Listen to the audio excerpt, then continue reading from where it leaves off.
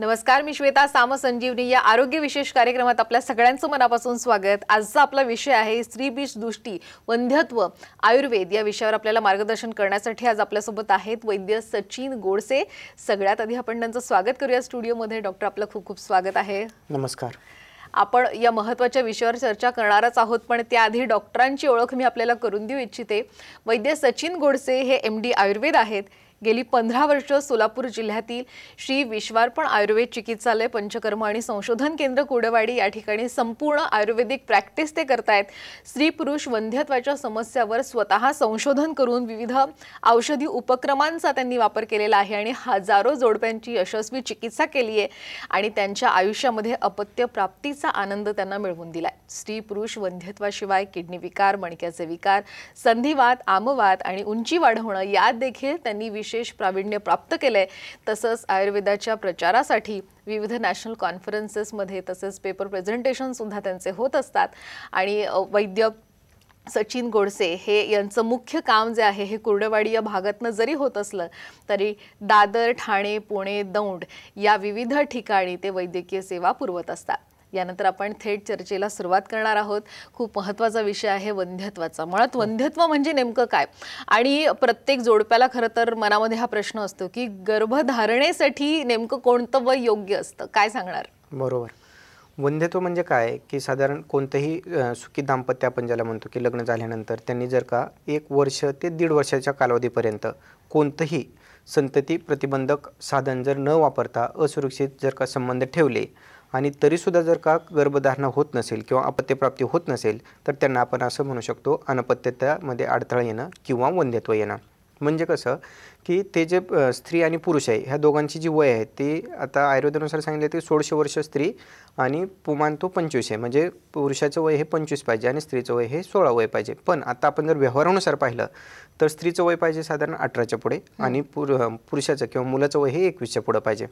असं फक्त वय असून चालत नाही तर आयुर्वेद ह्याच्याकडे कसं पाहतं की त्यांचे जे धातू आहेत ते परिपूर्ण झाले पाहिजेत. त्याचनंतर त्या धातू फक्त परिपूर्ण होऊन चालत नाही तर त्यामध्ये वीर्य आलं पाहिजे. म्हणजे प समुचित वीर्यत्व त्यामध्ये प्राप्त झालं पाहिजे. म्हणजे जसं एखाद्या मुलीला बारा तेरा वर्षी पाळी येते पण तिचं गर्भधारणा करण्याचं जे वय आहे ते साधारण सोळा सतराच्या पुढं सांगितलेलं आहे. म्हणजे त्या धातूची जरी वाढ झालेली असेल तरी त्याच्यामध्ये समुचित वीर्य तयार होण्यासाठी एक दोन चार वर्षाचा कालावधी द्यायला पाहिजे. म्हणजे त्या स्त्रीचं धातू परिपूर्ण पाहिजेत त्यानंतर समुचित वीर्य पाहिजे त्याच्यानंतर ह्या दोन जे हे आहेत दाम्पत्य आहेत म्हणजे स्त्री आणि पुरुष ह्यांचे एकमेकावरती परस्परावरती प्रीती असली पाहिजे. त्यानंतर योग्य काली म्हणजे ऋतुकाल जो सांगितलेला आहे गर्भधारणेच्या ह्याच्यानंतर म्हणजे पिरियड आल्यानंतर चौथ्या दिवसापासून तो सोळा दिवसापर्यंत. हा जो रजोकाल सांगितलेला आहे ह्या कालात योग्य काळी जर का संबंध ठेवले म्हणजे ह्या सर्व गोष्टी एकत्र आल्या की स्त्री पुरुष दोघांचं वय योग्य पाहिजे त्यानंतर योग्य काल पाहिजे त्यानंतर धातू परिपूर्ण पाहिजेत परस्परावरती प्रीती पाहिजे असं असताना देखील जर का एक ते दीड वर्ष त्यांनी संबंध ठेवून अपत्य होत नसेल तर आपण त्याला वंध्यत्व आलं किंवा गर्भधारणेमध्ये अडथळा आला असं आपण म्हणू शकतो. आणि ही जी समस्या आहे हे आज आपण जर पाहिले तर खूपच ज्वलंत आहे. त्याच्यामुळं आपण हा जो आजचा विषय घेतलेला आहे तो वंदेत्वाचा म्हणजे स्त्री क- चं वंदेत्व का म्हणतो? कारण स्त्री आणि पुरुष दोघेही वंदेत्वाला कारणीभूत असतात. पण स्त्री ही मूलम अनपत्यता म्हणजे स्त्री ही मूलम अपत्यानाम. म्हणजे आपल्या जे आ- स्त्रीला आदिमाया म्हणलं जातं किंवा तिच्यामध्ये जी शक्ती आहे पुनरुत्पादन करण्याची किंवा पुनरु पुनर्जीवन निर्माण करण्याची ही शक्ती आपल्या ह्याने ईश्वराने किंवा परमेश्वराने ही स्त्रियेमध्ये जास्त देऊन ठेवलेली आहे. म्हणून तिला आदिमाया असं म्हणलं जातं. म्हणून आज आपण तिच्याच बाबतीतला जो पी सी ओ डी किंवा स्त्रीबीज दुष्टी हा विषय ह्या विषय ह्या विषयाचा आपण सविस्तर विचार करणार आहोत. नाही बरोबर आहे. खरं तर वंध्यत्वाविषयी जर आपण बोलायचं झालं तर स्त्रियांमध्ये वंध्यत्वाचं प्रमाण हे काळानुरूप वाढत चाललेलं आहे. पण मग कोणकोणती कारणं यासाठी जबाबदार आहेत? बरोबर आहे. कारण ह्याच्या पाठीमागे जर आपण कारणाचा विचार करायला गेलो तर खूप आहाराचं कारण असेल विहाराचं कारण असेल त्यानंतर त्या स्त्रीची स्थानिक दृष्टी असेल त्याचबरोबर तिचे इतर आजार असतील अशी बरीच कारणं आपल्याला शोधता येतात ह्याच्यामध्ये आणि दिसत असतात व्यवहारामध्ये. आपल्याकडे जे येतात ते पेशंट त्यातलं एक तुम्हाला मी ठाण्याच्या पेशंटचं उदाहरण सांगतो. तर आपल्याकडे एक पेशंट आले होते म्हणजे त्या पेशंटची आई आली होती आणि आई त्या काकू होत्या थोडेसे एक सहा सात वर्षापासून त्यांची ओळख होती. तर त्या ज्या वेळी आल्या त्यावेळी त्या रडतच आल्या होत्या. त्यांची एकुलती एक मुलगी ते लग्न झालं लग्न झाल्यानंतर साधारण सहा सात वर्ष झाली तरी अपत्य होत नव्हतं. त्यामुळं घरून त्यांच्या टॉर्चर व्हायला लागलं. मुलगी सॉफ्टवेअर इंजिनियर होती. मुलगाही तो आय टी इंजिनियरमध्येच होता. त्यानंतर दोघंही उच्च शिक्षित होते. त्यांचा पगार भरपूर होता. पण जसं एक नॉर्मल लाईफ असतं की पहिल्यांदा शिक्षण होतं त्यानंतर करिअर होतं त्यानंतर मग परत मुलाचा विचार केला जातो. अशा पद्धतीने त्यांचा वेळ वाढत गेला. आणि ज्यावेळी एकदा दोनदा त्यांनी म्हणजे ही राहत नाही म्हणल्यानंतर बऱ्याच ठिकाणी ट्रीटमेंट केली बऱ्याच ठिकाणी औषधोपचार केले गेलं. पण त्यांना काही गर्भ राहत नव्हता. त्यानंतर त्यांनी काही म्हणजे खरं तर कारण नसतं. स्त्रियांच्यामध्ये ज्यावेळी स्त्रीबीजाची दृष्टी असेल त्यावेळी तरीसुद्धा दोन वेळा I U I U I केलं होतं आणि एक वेळा आय यू एफचा प्रयत्न केलेला होता. असं होऊन सुद्धा त्यांना अपत्य प्राप्त होत नव्हतं आणि त्यांच्या जी काही मानसिक ताणतणाव त्यांची भांडण तंटा हे जे चाललं होतं हे कंटाळून ती मुलगी ज्यावेळी घरी आली होती त्यावेळी त्यांची आई म्हणजे त्या काकू आपल्याकडे आल्या होत्या की मुलीला असा असा त्रास आहे आणि तिला गर्भ राहत नाही तर काय करता येईल आपल्याला? मग ज्यावेळी आपण चेक केलं त्यावेळी आयुर्वेदिक पद्धतीने तिची ज्यावेळी आपण तपासणी केली कारण प्रत्येक पेशंट काय येतो की समजा रिपोर्ट जर घेऊन आला की पी सी ओडीचा किंवा काही कुठलाही रिपोर्ट घेऊन आला तर त्याच्यावरती आयुर्वेद डायरेक्ट ते पी सी ओडी असं म्हणून ट्रीट केलं जात नाही. तर तिची पूर्ण म्हणजे तिच्यामध्ये दोष कोणता आहे? धातू कोणता आहे? बल कसं आहे? अनल कसं आहे? प्रकृती कसं आहे? वय कसं आहे? म्हणजे ह्या दहा गोष्टी चरकाचार्याने सांगून ठेवल्या आहेत. त्या पद्धतीने तिचं जर चिकित्सा केली तर त्याचं नाव काही का असे ना ह्या लक्षणानुसार जर ट्रीटमेंट करत गेले तर आपल्याला रिझल्ट मिळत असतात. त्या पद्धतीने तिची ज्यावेळी आपण केस टेकिंग केली त्यावेळी त्यामध्ये स्त्रीबीज दृष्टीची लक्षणं आढळली तेही ग्रंथार्थ. म्हणजे आज ज्याला म्हणलं जातं P C O D polycystic ovarian disease असं म्हणलं जातं त्याला. तर ह्याची ज्यावेळी आपण ट्रीटमेंट केली तर त्यावेळी काय केलं की तिच्या आहारामध्ये बदल केला. तिच्या विहारामध्ये तिच्या झोपण्याच्या उठण्याच्या वेळात त्याच्यामध्ये बदल केला. सकाळी व्यायाम सूर्यनमस्कार अनुलोम विलोम कपालभाती ह्यासारखे व्यायाम दिले. आणि साधारण तीन ते चार महिन्यानंतर तिचं जे स्थौल्य किंवा जे वजन वाढलेलं होतं ते कमी यायला सुरुवात झाली. त्याच्यानंतर केस गळती कमी यायला झाली चालू झाली. त्यानंतर जे चिडचिडपणा होता तो कमी यायला चालू झाला. साधारण सहाव्या सातव्या महिन्यापासून तिला आपण ट्रीटमेंट दिली. उत्तर बस्ती बस्ती आणि पिचू धारण केले. ह्या ट्रीटमेंटनंतर सातव्या महिन्यामध्ये त्या मुलीला त्या काकूंच्या त्या मुलीला की प्रेग्नन्सी राहिली होती.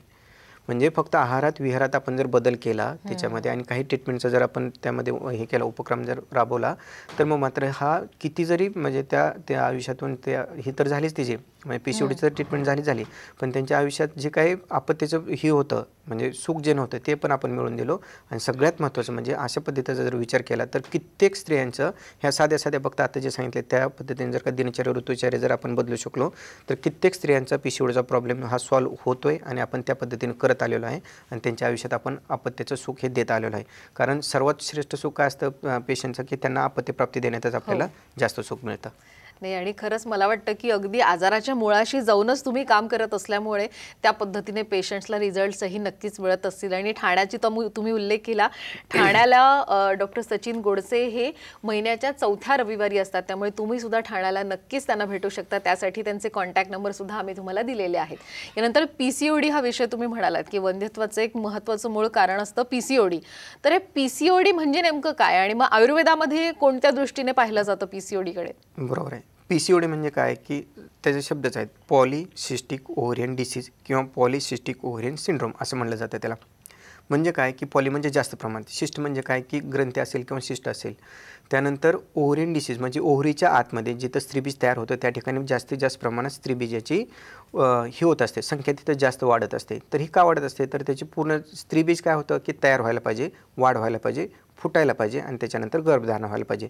स्त्रीबीज जर का त्याची वाढ नाही झाली किंवा जर नाही फुटलं तर ते एक दोन चार अशा पद्धतीने साठत जातात आणि ह्याला म्हणतात पॉलिसिस्टिक ओव्हरियन डिसीज हे झालं आधुनिक मतानुसार. आधुनिक मताचं ह्याचं कारण जर आपण पाहायला गेलो तर काय होतं की आता जे आपलं खाणं पिणं किंवा लाईफस्टाईल आहे ह्याच्यामुळे काय होत चाललेलं आहे की आपल्या आहारात जी जाणारी समजा भरपूर साखर असेल किंवा चरबीयुक्त म्हणजे मैद्याचे पदार्थ जास्त असतील ज्याला आपण फास्ट फूड म्हणतो जंक फूड म्हणतो हे भरपूर खाल्लं जातं. एक.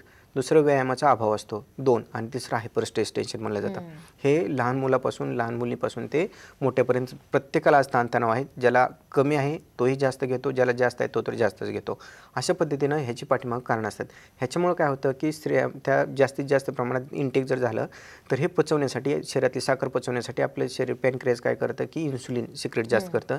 जेवढं जास्त इन्सुलिन सिक्रेट केलं जातं तेवढं त्याचा रेजिस्टन्स निर्माण होतो. इन्सुलिन रेजिस्टन्स जेवढं जास्त निर्माण होईल तेवढं स्त्रियांमध्ये जसं एफ एस एच आणि एल एच हे हार्मोन सिक्रेट होत असतं स्त्री ओहरीपासून तसंच टेस्टेस्टोरॉन हे मेल हार्मोन आहे ते पण सिक्रेट होतं. ते जेवढं जास्त सिक्रेट होईल तेवढं एफ एस एच आणि एल एच ह्याची लेवल आहे ती बिघडते. ती जेवढी बिघडल तेवढं स्त्रीबीज तयार होणं आणि वाढ होणं. कारण एफ एस एच आहे ते स्त्रीबीजाची वाढ करत असतं. लुटिनेजिंग हार्मोनची जर हे ही झाली तर बॅलन्स असेल तर ते रप्चर होत असतं. तर ह्या दोन्ही गोष्टी बिघडतात. म्हणजे वाढ होणं आणि फुटणं. हे दोन्ही होत नाही त्यामुळे त्यामुळे त्या ओहरीमध्ये स्त्रीबीजाची त्या तशीच संख्या साठत जाते साठत जाते साठत जाते ह्याला म्हणलं जातं पॉलिसिस्टिक ओव्हरिन डिसीज म्हणजे ह्याचं मूळ कारण जर आपण शोधायचा प्रयत्न केला तर त्या ह्याच्यामध्ये इन्सुलिन रेजिस्टन्स निर्माण झालेला असतो स्थौल्य वाढलेलं असतं. म्हणजे अपचित मेद ज्याला म्हणलं जातं ते वाढत चाललेलं असतो. आता आपण आयुर्वेदाकडे. आयुर्वेद ह्याकडे कसं पाहिलं जातं की शरीर स्त्री शरीरामध्ये आर्तवम आग्नेयम असं म्हणलं जातं. म्हणजे स्त्रीच्या शरीरामध्ये जे आर्तव किंवा रज म्हणलं जातं जे पाळीवाटी बाहेर पडलं जातं त्याला रज म्हणलं जातं. आणि जे आतमध्ये अस्तर तयार केलं जातं एक तरल भाग असतो तो पिशवीच्या आतमध्ये अस्तर तयार होत असतं. आणि दुसरं बीजभूत आर्तव असं म्हणलं जातं की ज्याच्यापासून बीजाची निर्मिती होत असते. आता हे आर्तव तयार कुठं होतं? रसात रक्तम तत्वस्थान्यम अश्रुजा कंडारा शिरा. म्हणजे रसापासून रक्ताची निर्मिती होत असते म्हणजे त्या रजाची निर्मिती होत असते. जे प्रसाद रूप आहे रज ते रसापासून तयार होतं. त्या प्रसाद रूप रज काय होतं सूक्ष्म वाहिन्यातून त्या गर्भाशयात शोषलं जातं. गर्भाशयात शोषल्यानंतर तलरूप जो अस्तर तयार होत असतं की जे वाढ होतं महिन्याच्या महिन्याच्या आतमध्ये जर त्याची वाढ झाली व्यवस्थित तर मग मात्र इंडोमेट्रियम ज्याला म्हणलं जातं त्याचे double layer single single layer double layer triple लेअरपर्यंत ती वाढ होत असतं. म्हणजे जर का गर्भ राहिला तर त्याच्यावरती त्याचं व्यवस्थित पोषण व्हायला पाहिजे त्या बाळाचं. ह्याच्यासाठी ते तरल रूप आर्तव हे निर्माण होत असतं. ह्याचबरोबर काय होत असतं ह्या प्रसाद राजापासून की बीजभूत आर्तव पण तयार होत असतं. म्हणजे इकडे स्त्रीबीज तयार होत असतं. म्हणजे ज्यावेळी ह्या आर्तव जर प्राकृत असेल एक त्याच्यामध्ये को दोष नसेल दोन आणि तिसरं जेथून ते तयार होत असतं त्याच्या सूक्ष्म केशवाहिन्या म्हणलं जातं त्याच्यातून जर व्यवस्थित येत असेल तर मग मात्र इकडं स्त्रीबीज व्यवस्थित तयार होतं. ह्या ठिकाणी जर का ग्रथितता आली म्हणजे अपचित मेद आला तिथं जर का अवरोध आला अवरोध दोन गोष्टीने येऊ शकतो. वाताची गती ती ती दोन गोष्टींनी बिघडू शकते. एक म्हणजे कफामुळे बिघडू शकते दुसरं पित्तामुळे बिघडू शकते. कफामुळे जर अवरोध आला तिथं जर क्लेद वाढला किंवा अपचित मेद जे म्हणलं होतं तो जर तिथं जास्त प्रमाणात आला तर तिथं जे जे आर्तव आहे ते आर्तव तयार होणार नाही. इकडे स्त्रीबीज तयार होणार नाही. दुसरं इकडे जर पित्तामुळे जर होत असेल तर पित्तामुळं अवरोध जर निर्माण होत असेल तर मग मात्र त्या ठिकाणी शिष्ट तयार होतील. त्या ठिकाणी स्त्रीबीज हे तयार होणार नाही. म्हणजे लक्षणं कशी दिसतात हे सांगतो. हे कारण खूप थोडंसं सायंटिफिक होतं किंवा डिटेल होतं. लक्षण काय होतं? की जर कफाचा अवरोध असेल तर इकडं पिरियडला कमी येतं. उशिरा येणं तीन महिने येणं चार महिने येणं किंवा फार कमी येणं. आणि जर रक्ताचे असेल म्हणजे तिकडे शिस्ट होतात सिंपल शिस्ट होतात. आणि इकडे पित्ताचा अवरोध असेल तर चॉकलेट शिस्ट होणं हिमोरेजिक शिस्ट होणं आणि अत्यर्थ होणं. म्हणजे पीसीओडीच्या स्त्रीला कमी पण जाऊ शकतं आणि जास्त पण जाऊ शकतं. हा आयुर्वेदाचा जर पाठीमागचा विचार जर केला तर आपण पाहू शकतो. नक्कीच पीसीओडीची लक्षणं काय हे सुद्धा मला जाणून घ्यायचंच आहे पण त्याआधी वेळ झाली एका छोट्याशा ब्रेकची कुठेही जाऊ नका. पाहत राहा सामसंजीवनी.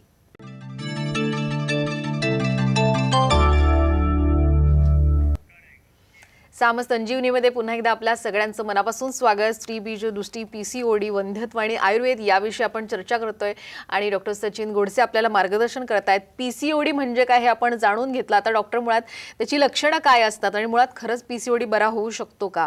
आणि चिकित्सा कशी असते? काय सांगाल? बरोबर आहे. कारण प्रत्येकाच्या मनामध्ये हा प्रत्येक जे पेशंट येतो त्यांच्या मनामध्ये पण हाच प्रश्न असतो. की हा डी हा तात्पुरता आजार बरा होईल? कायमस्वरूपी बरा होईल काही जी ट्रीटमेंटच नाही. त्याचं कारणही असं आहे की आधुनिक शास्त्रानुसार हे म्हणलं जातं की इट्स क्रिटिकल टू क्युअर म्हणजे तो बरा करण्याला खूप क्रिटिकल आहे त्रासदायक आहे आणि काही ठिकाणी म्हणलं जातं की हा इनक्युरेबल आहे. म्हणजे ह्याची ट्रीटमेंट नाही आहे अशा पद्धतीने सांगितलं जातं. पण आयुर्वेदामध्ये ह्याची पूर्णपणे ट्रीटमेंट होते. हे पहिलं आणि दुसरं हा कायमचा बरा करू शकतो आपण. एका उदाहरण मी सांगेल तुम्हाला की आपल्या पुण्यामध्ये साधारण ही जी जी हे जे जोडपं आलं होतं ते त्यांच्या मुलासाठी आलं होतं. म्हणजे सहा सात वर्षाचा मुलगा होता त्याला सार वारंवार सर्दी होत होती. आणि त्याची काही केल्या सर्दी जात नव्हती. परत परत त्याला औषध द्यावं लागायचे आणि परत शेवटी स्टेरॉइडवरती यायला लागल्यानंतर ते आपल्याकडे आले होते. ज्यावेळी आपल्याकडे आली त्यावेळी त्यांनी प पहिल्यांदा सांगितलं की आम्ही तुमच्याकडे अगोदर आलो होतो आणि ते मुलीनं सांगितलं की ट्रीटमेंट केलेली होती. आठ ते दहा वर्षापूर्वीची तिने सगळं सांगितली की त्यावेळी तिला पीसीओडीचा त्रास होता. म्हणजे वजन वाढलेलं होतं केस गळत होते. हे जी जी सगळी लक्षणं होती तर ती त्यांनी सगळी सांगितली. त्यानंतर तिनं सांगितलं की चेहरा एवढं विद्रूप दिसत होतं माझा की चेहऱ्यावरती पिंपल्स खूप वाढलेले होते तिच्या. त्यामुळे तो चेहरा विद्रूप दिसत होता. तर ही ज्यावेळी आपण त्यावेळी तिची ट्रीटमेंट केली होती त्यावेळी तिला बृहदवमन दिलं होतं म्हणजे उलटीचं औषध बृहद विरेचन दिलं होतं जुलाबाचं औषध दिलं होतं. त्यावेळी बस्ती केल्या होत्या आणि पिचूचे धारण त्या ठिकाणी पिचू ठेवले होते. म्हणजे तेलाचे कापसाचे गोळे ते पाळीच्या जागेत ठेवले जातात. अशा पद्धतीने त्यावेळी चिकित्सा केली होती. आहारामध्ये तिचे बदल केलेले होते विहारामध्ये बदल केलेले होते. कारण तिचं वजन त्यावेळी ब्याऐंशी किलोच्या आसपास झालेलं होतं ते तिनं सांगितलं ते. आणि पूर्ण ट्रीटमेंट झाल्यानंतर साधारण एक ते दीड वर्षानंतर तिची अं, जी एक वर्ष ट्रीटमेंट झाली एक वर्षानंतर तिची पिरियड वगैरे सगळं नॉर्मल झालं होतं. त्यानंतर ज्यावेळी तिचं लग्न झालं लग्न झाल्यानंतर एक वर्षानंतर दोन वर्षानंतर दोन तिची आपत्ती झाली. दोन आपत्ती झाल्यानंतर व्यवस्थित त्यानंतरही दोन आपत्ती झाल्यानंतरही काही प्रॉब्लेम आला नाही. वजन वाढलं नाही. केस असे व्यवस्थित दिसत होते. आणि ते जे सौंदर्य त्यावेळी जे वाढलं होतं की चेहऱ्यावरचे काळे डाग जाणं वांग येणं हे सगळ्या गोष्टी ज्या गेलेल्या होत्या ती साधारण आठ नऊ वर्षानंतरही परत त्याच पद्धतीने दिसत होतं. ह्याचा अर्थ असा की पी सी डी हा आजार पूर्णपणे बरा करता येऊ शकतो. एक आणि त्यानंतर अपत्यप्राप्तीसाठी जो काही महत्त्वाचा अडथळा आहे कारण आज जर पाहिलं तर ऐंशी टक्के स्त्रियांमध्ये हा प्रॉब्लेम येतो की पी सी डीचा प्रॉब्लेम आहे. म्हणजे तयार तर होत नाही वाढ तर होत नाही किंवा फुटत तर नाही. हाच अडथळा असतो. हा एकदा जर का त्याच्या पाठीमागची आता जी आपण संप्राप्ती सांगितली त्या पद्धतीने जर का विचार करून चिकित्सा केली तर हा आजार कायमचा बरा होऊ शकतो आणि त्यांच्या आयुष्यात अपत्यप्राप्तीचा आनंद आपण त्यांना देऊ शकतो. हे. एक झालं. आणि ह्याची तुम्ही हे विचारली ना आता कारणं काय असतात? मूळ कारणं काय असतात? तर ह्याची कारणं आपण जर शोधायला गेलं ना आहार आणि विहारामध्येच कारणं त्याचे दिसत असतात. ह्याची जी कारणं आहेत ते आहार म्हणजे जंक फूड खाणं फास्ट फूड खाणं बाहेरचं खाणं वेळी अवेळी खाणं रात्री जागरण करणं त्यानंतर दिवसा झोपणं त्याचबरोबर इतर आजारांचा परिणाम स्वरूप सुद्धा पी सी डी होत असते. इतर आजार म्हणजे कोणते? स्थानिक आजार ज्याला युनिवापद असं म्हणलं जातं. म्हणजे त्या ठिकाणी अति हे असतं अतिव्यय असणं त्यानंतर परिप्लुत असणं म्हणजे त्या ठिकाणी श्वेतस्राव झाले जात असणं ट्यूब ब्लॉक असणं इतर कारणं असतात. आणि जे वैकारिक म्हणजे इतर आजार जे असतात किंवा रचनात्मक विकार सोडून इतर जे कारणं असतात त्यामध्ये काय होतं की पांडू असणं म्हणजे अंगात रक्त कमी असणं जीर्णज्वर म्हणजे बऱ्याच दिवसाचा मुरलेला ताप असणं कृमी पोटात कृमींचा म्हणजे जंताचा इतिहास असणं टायफॉईडसारखं इन्फेक्शन होऊन गेलेलं असणं निमोनियासारखं इन्फेक्शन होऊन गेलेलं असणं ग्वायटरसारखं इन्फेक्शन होऊन गेलेलं असणं. अशा पद्धतीच्या आजारांचा प परिणाम स्वरूपसुद्धा त्या स्त्रीबीजेची दृष्टी होत असते आणि पी सी सारखा आजार आपल्याला दिसत असतो. त्याच्याचबरोबर काय काही ना किडनीचा विकार असतो काही ना हृदयाचा विकार असतो काही ना डायबिटीस म्हणजे शुगर लवकरच चालू झालेली असते. अनुवंशिकता काहींच्यामध्ये असते. म्हणजे आईवडिलांना जर त्रास असेल तर त्यामध्ये ज्या आयुर्वेदानुसार त्यात वंद्या म्हणजे शंड्या योनी वगैरे वंद्या योनी अशा पद्धतीचे वर्णन केलेले आहेत की ज्यामध्ये पिरियडच येत नाही उशिरा पिरियड येतो किंवा स्त्रीबीजाची कधीच निर्मिती होत नाही. अशा पद्धतीचे हे योनिव्यापद आणि त्यानंतर इतर आजारामुळं पण हा पिशिवड्याचा आजार होत असतो. सगळ्यात महत्त्वाचं कारण याच्यामध्ये जर आप- आपण पाहिलं तर आहार विहार आणि इतर औषधांचा परिणाम. ह्याच्यामुळं हे जे काय खाण्यापिण्याची जे आपण जी बदललेली लाईफस्टाईल म्हणतो त्या लाईफस्टाईलमुळं हा होणारा आजार आहे. बरे बरोबर आहे. आणि तुम्ही पुण्याचंच उदाहरण दिलं. महिन्याच्या दुसऱ्या शनिवारी खरं तर डॉक्टर पुण्यात असतात त्यामुळे तुम्ही त्यांना नक्कीच भेटू शकता. आता पीसीओडीची तुम्ही कारणं लक्षणं सांगितली. मुळात सीबीची दृष्टी किंवा पीसीओडी होऊच नाही असं जर वाटत असेल तर काय काळजी घ्यायला हवी? सगळ्यात महत्त्वाचं ह्यातलं काही गोष्टी ज्या ठराविक गोष्टी आहेत ज्या घरी खायलाच पाहिजेत. त्यामध्ये आहारातल्या पहिल्या ज्या गोष्टी बाहेरचं जे टाळायचं ते फास्ट फूड जंक फूड हे सगळं टाळलं पाहिजे. दुसरं आहारामध्ये खोबरं असणं त्यानंतर खारीक असणं त्यानंतर बदाम असणं त्यानंतर डाळिंब अक्रोड अंजीर. सगळ्यात महत्त्वाचं अंजीर असणं डाळिंब असणं आणि काळ्या मनुका असणं. ह्या तीन पी सी ओडीचा बऱ्याचदा आम्हाला दिसतं की प्रॉब्लेम सॉल्व्ह होतो आहे दुसरं थोडं तरी व्यायाम करायला पाहिजे. सकाळी उठ लवकर उठलं पाहिजे थोडं तरी चालणं फिरण्याचा व्यायाम व्हायला पाहिजे. अनुलोम विलोम कपालभाती आणि बसरिका. त्यातली कपालभाती जर दहा मिनटं केली आणि त्याच्यानंतर एक बारा सूर्यनमस्कार रोज जर काढले तर नव्वद दिवसामध्ये कोणताही पी सी ओडीचा किंवा कोणताही पाळी अनियमित असेल तर ह्याचा प्रॉब्लेम सॉल्व्ह होताना दिसत असतो. ह्याच्यासोबतच थोडंसं तरी ताणतणाव टेन्शन कमी करण्यासाठी एकतर घरात जे सुसंवाद नसतो किंवा नवरा बायको असतील त्यांच्यामध्ये सुसंवाद नसतो तो त्यांनी थोडासा तरी राखायला पाहिजे. म्हणजे कम्युनिकेशन वाढायला पाहिजे. किंवा आपले जे छंद आहेत ते थोडंसं तरी जोपासायला पाहिजे. म्हणजे मानसिक ताणतणाव कमी होईल. कारण हे एक आज महत्त्वाचं कारण आहे त्यामध्ये. ह्याच्याबरोबर बाहेरची जी औषधं असतील हार्मोनल ट्रीटमेंट असतील त्याचे जे साईड इफेक्ट आहेत हे गोष्टी त्यांनी टाळायला पाहिजेत. आणि सगळ्यात ह्याच्यानंतर जो महत्त्वाचा विषय येतो तो म्हणजे की पी सी डी झाल्यानंतर जी काही ट्रीटमेंट करायला पाहिजे ना तर ती आयुर्वेदिक पद्धतीनं आहार विहार म्हणजे पत्ते पाळून जर का पंचकर्म केलं तर पंचकर्मातलं वमन विरेचन बस्ती आणि उत्तर बस्ती ह्या तीनमध्ये जवळजवळ ऐंशी ते नव्वद टक्के त्यांचा प्रॉब्लेम हा पूर्णतः सुटू शकतो आणि कायमस्वरूपी सुटत असतो.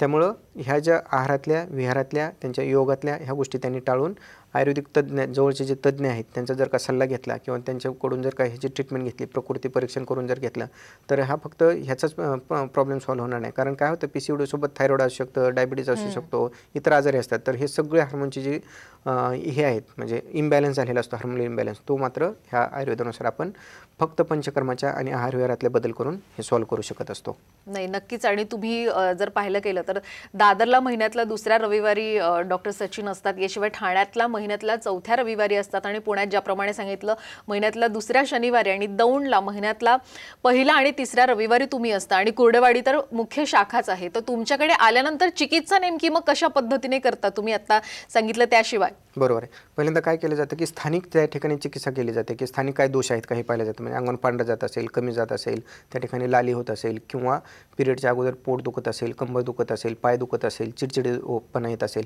तर ह्याच्यानुसार त्याची लक्षणाची चिकित्सा केली जाते. त्याचबरोबर काय केलं जातं? जो कफाचा जो अवरोध आलेला असतो त्यासाठी वमन म्हणजे लघु वमन दिलं जातं. त्यानंतर लघु विरेचन दिलं जातं.